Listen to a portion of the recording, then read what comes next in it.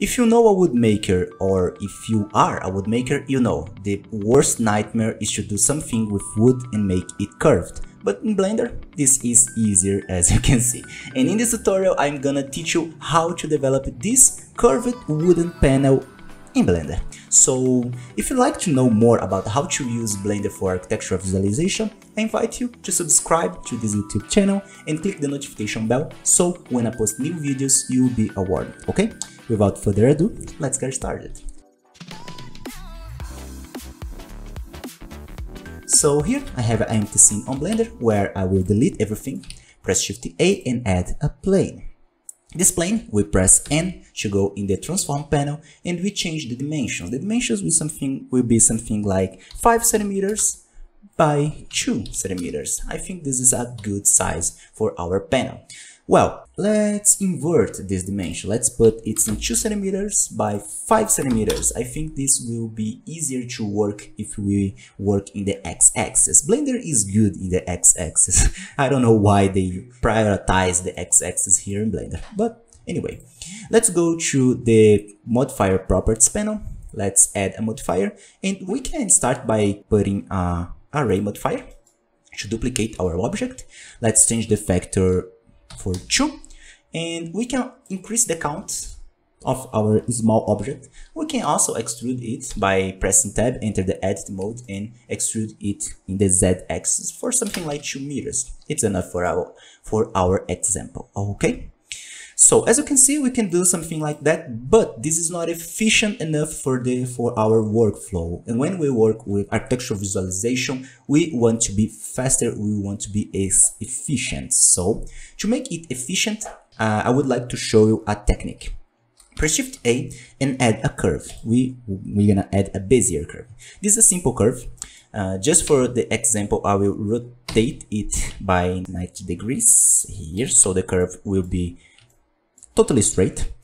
And by selecting my object, I'm going to change the fit type for fit curve.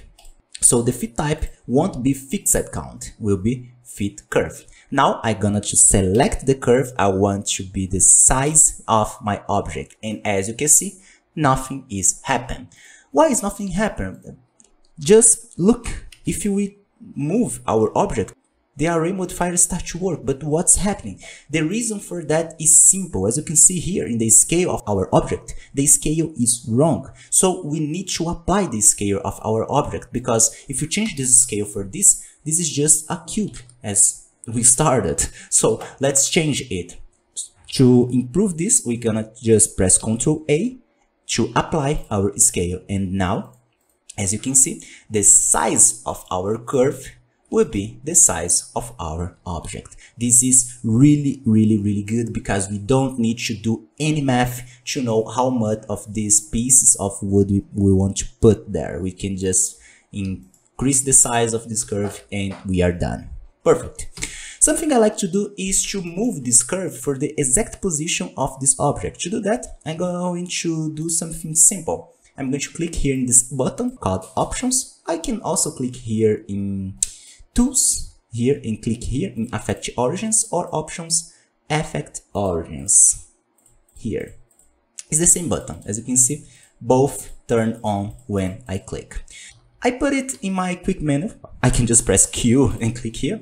And now I will change the snap of my object to vertex and move it pressing Ctrl to the this part here. Now I can turn off this option and by Selecting my object, I will press Shift S and click the option cursor to select it. Now I'm gonna to select my curve, press Shift S, selection to cursor. And now my object is here in the same position of my wall. This will be really useful for our process right now because I want to make it curved. To do that, I'm gonna to add a modifier and as you can see, I'm gonna add a curve modifier because we're going to add, make a curve control the position of this object. So we can just select this, the only curve that we have in our scene. And when we select our curve, press tab to modify our curve. Now every movement that we do with our curve will change the way our object is looking as you can see. So let's create a simple curved panel like that. As you can see, all movements that I made, that I done here, is change the way this object is looking. But as you can see, is not that great because the resolution of our curve is a bit low. So we can go here in the curve properties and increase the resolution for something like 64. It's enough for our example. Okay, perfect. Right now, I'm gonna to rotate this like this and rotate this like this. I can increase the size here, increase the size here, whatever I want. Now I have a curved panel, as you can see.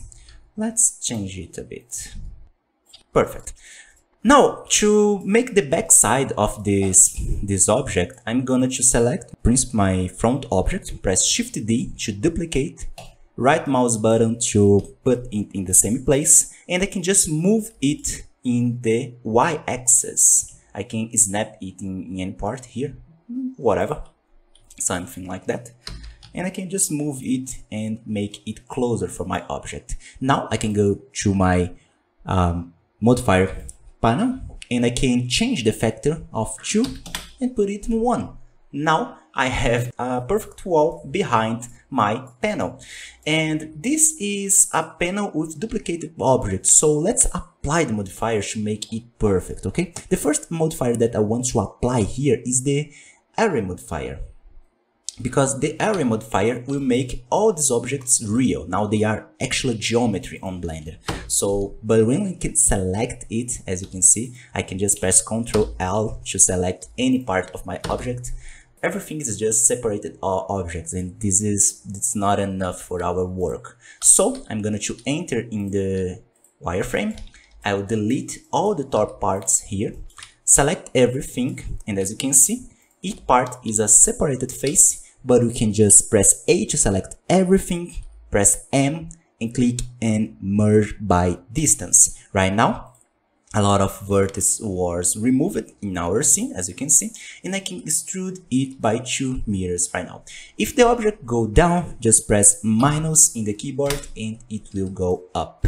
Perfect. Now we have the back side of the wall. We can call this wooden back wall I don't know and this is the front side we can call it wooden panels I don't know something like that. Perfect. And as you can see the this is done for now but this is not perfect at all because now we can change the curve whatever we want. It will affect both objects at the same time. Perfect. Because both objects are using the same curve in the modifier stack. But this is a bit too sharp on the edges. And as you can see in my final rendering here the edges are a bit rounded. So let's use a bevel modifier to improve that. So let's click here in add modifier bevel modifier let's increase the number of segments and let's reduce the amount. 2 millimeters is enough. We can just press the right mouse button and click here in smooth shading. We can go here in shading, harden normals, go here in this panel, the object data properties, normals and auto smooth. And now it's looking great, it's looking great. We can do the same with this wall behind. So let's just do auto smooth, smooth shading and perfect. And now we have a perfect wall panel made in Blender, okay? And if you wanted to know how to develop the material for this object, I invite you to click in the video that's appear in the screen right now and I will teach you how to develop the material for this object, okay? Well, if you wanted to know more about how to use Blender for Archviz, subscribe, notification bell, all that stuff, and I see you in our next video. Bye.